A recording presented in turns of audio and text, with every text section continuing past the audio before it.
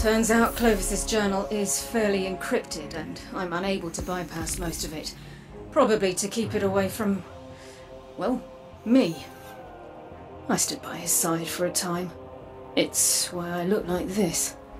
He needed a guinea pig, and after Dad passed, I needed a father figure. Eventually, I realized my mistake and joined my sisters in trying to take our grandfather down. So Clovis took precautions to keep us from interfering.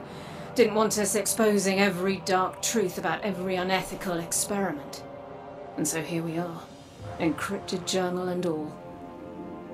I think it's about time we extract some good from the bad.